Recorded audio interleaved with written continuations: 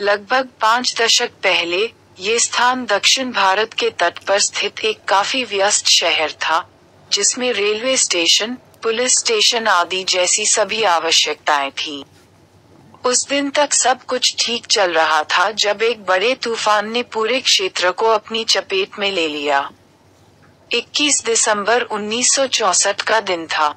ज्वार 20 feet तक बढ़ गया था और तबाही और खंडहर के अलावा कुछ नहीं बचा था। इस विनाशकारी घटना के बाद सरकार ने इस जगह को निर्जन घोषित कर दिया। और अब मौजूदा समय में यहाँ गिने चुने लोग ही रहते हैं। हालाँकि, यह एक ऐसा स्थान बना हुआ है जो समय समय पर यात्रियों और इतिहास और पौराणिक कथाओं के प्रेमियों के लिए एक महान गंतव्य साबित हुआ है। धन। ये सबसे अद्भुत जगहों में से एक है जहाँ आप निश्चित रूप से धनुषकोडी जा सकते हैं। समुद्र तट की सफ़ेद रेत वास्तव में आपको क्या आकर्षित करेगी? यहाँ आप बीच पर साइलेंट वॉक का लुत्फ उठा सकते हैं और सबसे अच्छी बात यह है कि आपको किसी चीज़ की चिंता करने की भी ज़रूरत नहीं है। बीच कोर्स के लिए ये धनुष कोडी समुद्र तट प्रमुख में से एक। मन्नार की खाड़ी समुद्री राष्ट्रीय उद्यान। मन्नार समुद्री राष्ट्रीय उद्यान की खाड़ी देश में स्थित कुछ समुद्री राष्ट्रीय उद्यानों में से एक है। लगभग 21 द्वीपों से मिलकर यह प्रकृति के प्राकृतिक प्राकृतिक दृश्यों जैसे नदी के मुहाने जादुई समुद्र तटों और जंगलों का अनुभव करने के लिए एक सुंदर जगह है। तीन राम सेतु, नाला सेतु के रूप में भी जाना जाता है।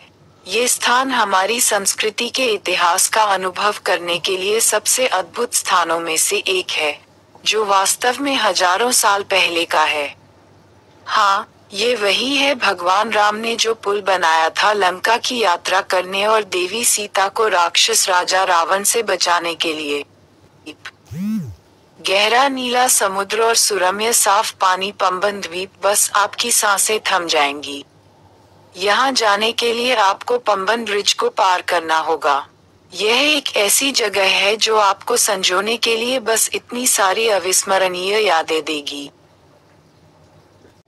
धनुषकोडी जाने का सबसे अच्छा समय। यदि आपने अपनी अगली छुट्टी के लिए धनुषकोडी पर ध्यान केंद्रित किया है तो ऐसा करने का सबसे अच्छा समय अक्टूबर से फरवरी तक सर्दियों के महीनों में होगा। धनुषकोडी का इतिहास।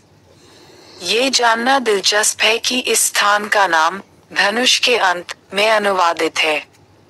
यहाँ वर्णित धनुष स्वयं भगवान राम का है।